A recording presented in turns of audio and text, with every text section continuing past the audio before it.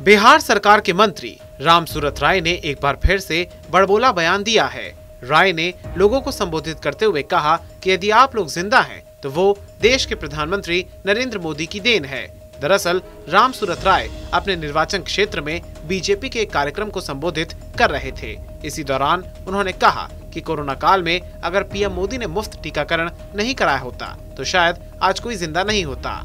दो तीन सालों में अर्थव्यवस्था गड़बड़ाया है कोरोना के कारण फिर भी आपका देश बहुत सारे देश में तो स्थिति है। आप पाकिस्तान के लोगों से बात कर लीजिए। सब लोग टीवी मीडिया के माध्यम से देखते हैं। लेकिन फिर भी आप भारत में शकुन और चैन से हैं जिसका नाम है नरेंद्र मोदी। आज अगर ज़िंदा है तो वो नरेंद्र मोदी का दिन है। अगर नरेंद्र मोदी अपना कोविड वैक्सीन का इतिहास नहीं करता आविष्कार नहीं करता लोगों को फ्री वैक्सीन नहीं लगाता जिस तरह से वो ऐसा जो एक साल पहले वाला जो कोरोना था सबसे पहले वाला कम था बीच वाला जो कोरोना आया था कोई ऐसा व्यक्ति नहीं होगा जिसके अपने परिवार के लोग, रिश्तेदार के लोग, दोस्त जिसके घर में नहीं मरा आरजेडी ने एक वीडियो ट्वीट कर सत्ताधारी जेडीयू पर निशाना साधा है। दरअसल, पटना में जेडीयू की एक मीटिंग थी। मीटिंग में शामिल हुए नेताओं के लिए खाने का इंतज़ाम भी किया गया।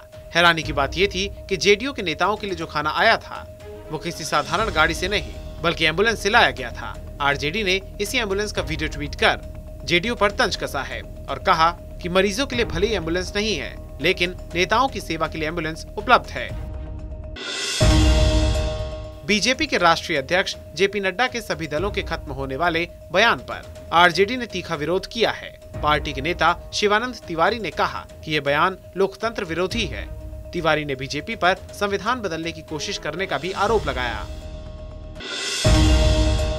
जेडीयू के नेता नीरज कुमार ने भी जेपी नड्डा के बयान को सही नहीं बताया है। नीरज कुमार ने कहा कि क्षेत्रीय दल लोगों की आकांक्षाओं को पूरा करते हैं। क्षेत्रीय आकांक्षा पूरा न होने से क्षेत्रीय पार्टी का उदय और देश के विभिन्न दशकों से इस बात की, का जनादेश मिलता रहा है कि गठबंधन की राजनीति अनिवार्यता है।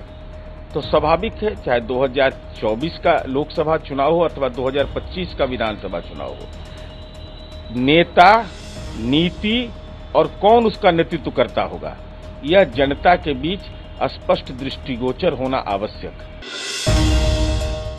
मुंगेर में मिड डे मील में खराब खाने की शिकायत लेकर छात्र अधिकारियों के दफ्तर पहुँच गए।